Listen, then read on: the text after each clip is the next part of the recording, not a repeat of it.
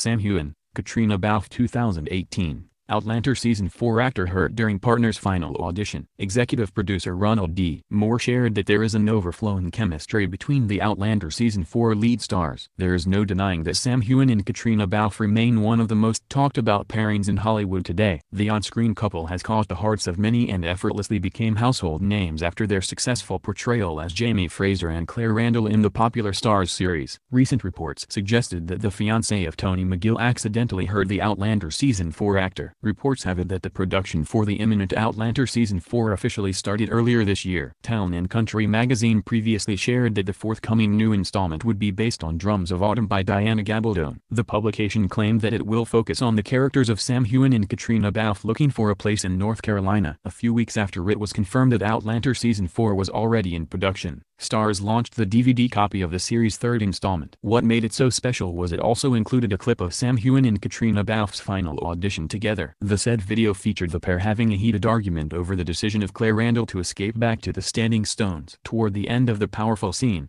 Caitriona Balfe shared she got so carried away that she accidentally punched Sam Heughan in his face. Outlander Season 4 executive producer Ronald D. Moore revealed that scene totally made them decide to cast the fiancée of Tony McGill. He added that there is an overflowing on-screen chemistry between Sam and Caitriona. Express reported. We really felt that Kate was probably gonna be the one, but this was the final moment. This was when she literally sealed the deal and got the show. And as you see they've sort of already got the shorthand of their characters and there definitely is on-camera chemistry between the two. Meanwhile, Daily Record reported that Sam Heughan and Caitriona Balfe are going to film near Salt Market in Glasgow City next week. The news outlet shared that fans of the Outlander Season 4 lead stars are expected to flock to the area in hopes of meeting them in person. It was announced that James Morrison and Turnbull Streets would be closed on March 14th and 15th from 12 noon until midnight.